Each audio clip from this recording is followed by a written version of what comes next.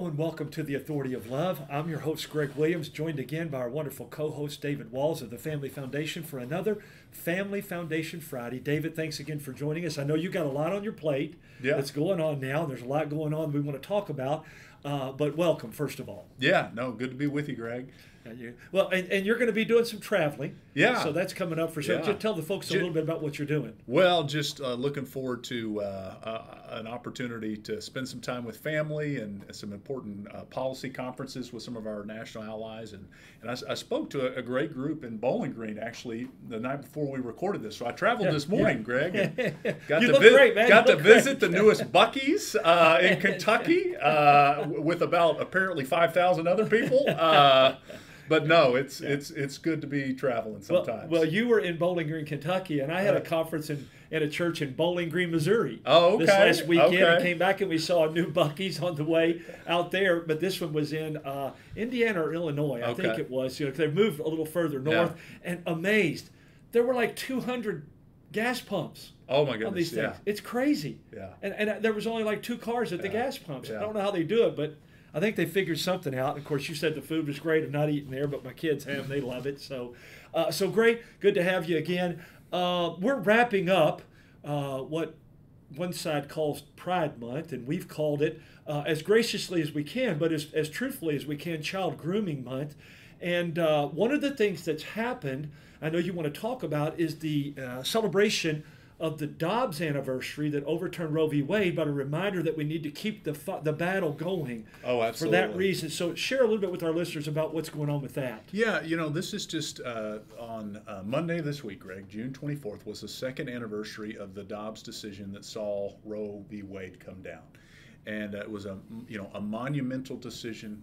It was an overturning of the most egregious Supreme Court decision in our nation's history that you know directly resulted in in 60, 65 million, probably even more than that. Yeah. Uh, preborn, precious preborn image bearers uh, killed in the womb.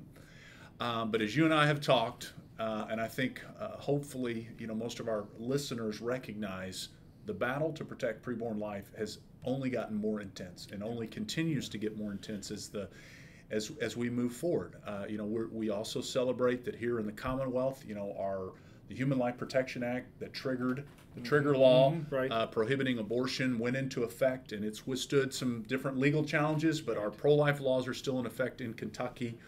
Um, I believe, Greg, the stats are that there are 25 states that have pro-life laws that, at least at a minimum, protect preborn life uh, at 15 weeks or sooner.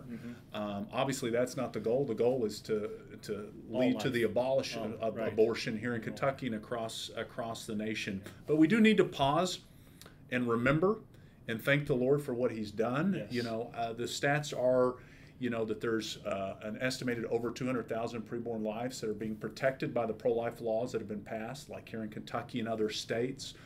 Um, but look, we're um, we've seen some election results, whether it be uh, some of these um, ballot initiatives that have not gone the way of the pro-life movement since Right, Dobbs right. was overturned.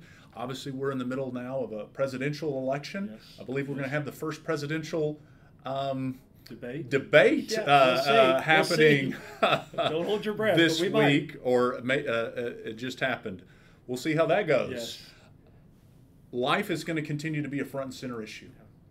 The the Democratic Party is increasingly day by day making radical pro-abortion agenda a central theme of the campaign. The Biden administration is very clear that they are making us this a central theme of the campaign. I saw an article recently, Greg, that said that pro-abortion groups are preparing, I think, to spend something like 140 million dollars in this upcoming election cycle to promote pro-abortion candidates. Killing of babies. So as Wow. we as we reflect on on two years, and um, you know, some of my big takeaways are, are continue to be that we have got to do more to disciple the body of Christ, Yes. to understand Yes. a biblical worldview at the most foundational level, Yeah. because when you understand that, then you understand why it's so important to get out and get involved and be engaged, whether that's you know um, politically or in other ways, supporting our pro life ministries, our pregnancy care centers, all the various ways that we're called to be involved to stand for life. Well, and our Um, good friends over at Planned Parenthood are playing a role in this as well, right? Right. Well, they're they're continuing to to expose why we've got to continue to stand for Yes. life, and just Yeah. because, for example, we have a law prohibiting abortion here in Kentucky. The reality is, there's thousands of women that are going across state lines uh, and getting uh, killing their preborn children in other states.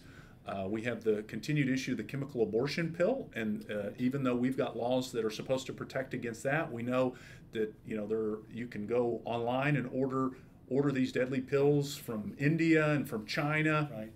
And uh, but the, the story that you're alluding to, Greg, in Planned Parenthood is is out of uh, Missouri, where their Attorney General's office has, uh, I believe, filed a lawsuit against uh, Planned Parenthood because one of these uh, uh, exposed videos that uh, where we see the you know nefarious activities, nefarious is probably putting it politely, Yeah, that's a nice uh, of Planned Parenthood, where they were essentially admitting they are trafficking, you know, underage uh, minors uh, against their parents' wishes, hiding it from parents. Against the state law. right against the they're in, state law that they're Right. in. And I think this is just a really good reminder that the abortion trafficking issue continues to be a, a, a major concern. And there have been states that have looked, uh, our neighbors to the south, Tennessee, um, and I guess should we congratulate them, Greg, on uh, on Yeah, their their uh, NCAA on their championship. Yeah, yeah. NCAA We can do that, yeah. Yeah, Uh, but uh. I'm also going to congratulate them that they they passed a, a law to um, start the process of trying to protect children from um, and to stop those that are seeking to traffic uh, Yeah. their citizens across state lines to kill preborn children. There's other states, and I, I hope that that's a, a, an issue that we can look Yeah, at I'd here in, in Kentucky Kentucky yeah. in the upcoming legislative session. So um, it, it's a lot to take in, but the takeaway is we need to pause, we need to be thankful, Mm-hmm.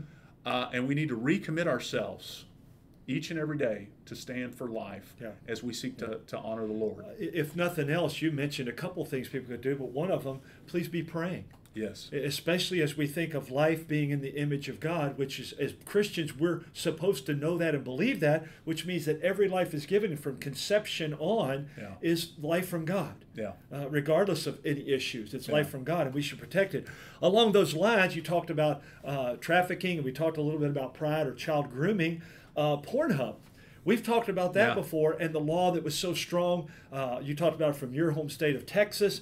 I found out recently that Texas was actually the eighth state at which the laws had been there, the biggest, but the laws had come in there, and Pornhub had moved out. Yeah. Kentucky, after our law was passed, there are now four others with Kentucky to bring it to, I think it's 13 now, Yeah. that Pornhub has, has moved out. That That is an example, folks, of good laws bringing about great change. Yeah. Bringing yeah. about great change. And let me just share uh, uh, something that happened recently. Um, there was a video, a hidden video by an organization, investigative organization, that said that Pornhub and their senior editors and writers were literally working to groom younger children and, and, and gave the scenario. Suppose, suppose you're a 12 year old boy and you're still unsure. Yeah. Why wouldn't we market something like that and put it out there? How, how, how dangerous and destructive is that? And so, Yeah. again, good laws, we got to keep them going. The battle yeah, continues. no, no, you know that it's that that story is it's you know it, it's sickening. Yes, Uh, yeah. But this is the reality of what's going on, and just to remind our listeners, you know, how does the law that, that passed here in Kentucky and others that, that Pornhub is is reacting to? Essentially, what these laws do is just require meaningful age verification to Yeah, ensure. That children don't have uh, Are protected. are protected Yeah, and don't yeah. have access. And Right. what you're seeing is, uh, you know, the largest uh, por- uh, pornographic provider in the world saying we don't want to follow the law, we don't want to see children protected. Yeah. Um, And and, because they know that those that are accessing those sites don't want to have Yeah, yeah, to go point. through Yeah. age verification. Yeah, even the adults. Right. Well, go go. I- Yeah. you're not going to get my information Yeah. because it could come, which tells you that people in their conscience, as the Bible talks about, know that this Right. stuff is wrong. I don't care how legal we make any of this. Yeah. When it goes against God's word, it's immoral and it's wrong. Yeah. And we've got to love them, but we've got to stand on that truth. Yeah. Well, here's an interesting thing too, Greg. With with most of these messages that they're being popped up to try to um, scare their users and saying, "Hey, we're going to be shutting down access in your state," and a lot of them they're encouraging folks to go contact their legislators. Yes. Yeah, And and and, and uh, express, you know, uh, being upset that the fact that the legislature took action, right? Yeah. So it'd be Yeah. interesting to How see how many people. No, we, I actually was I had a conversation about this. I, I, I don't know that I've heard a, a, a lot from legislators, but here's what I would tell people to do instead: is this is a good opportunity to reach out to your state legislator, both your House member and your Senate member. If you're not familiar with who they are, you can go to our website at KentuckyFamily.org and click over to find your elected Yes, officials. yes. Uh, And and, contact and them. contact Yeah. them and say thank you for taking a stand on this issue this session. It's having a, a real impact. Um, you know, we, we so many times, Greg, you know, especially during the legislative session, we're you know encouraging folks, you know, support this bill, support this bill, support yeah, this yeah. bill, and sometimes we can forget to say. It's a good idea to thank them when they've done the right thing. yeah. And as you and I were discussing in Kentucky, this issue actually passed Yep. unanimously. Yeah. There was not a single vote against it in either chamber. Legislator, right. Um, right. The governor signed it, so I can with confidence say you can reach out to your state Every legislator single one of them. and- That's and right. thank I was going to say that. Uh, and speaking of that, you can call or talk to or email any one of them and say thank you, Yeah. as you just said, because Right. every one of them Yeah. voted for this. It, it is common sense, but it goes deeper than common sense, David.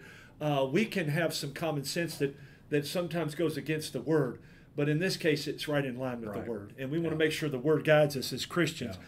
Speaking of legislators, I know you've got uh, some things coming up here uh, not too long. You've got some town halls coming up, right? Yeah, share with our yeah, listeners we're, what those are. we're excited. We've been working on these for a while, and John Razor on our team, who does church Mm-hmm. outreach, done a, a great job connecting us with some churches that were willing to host these.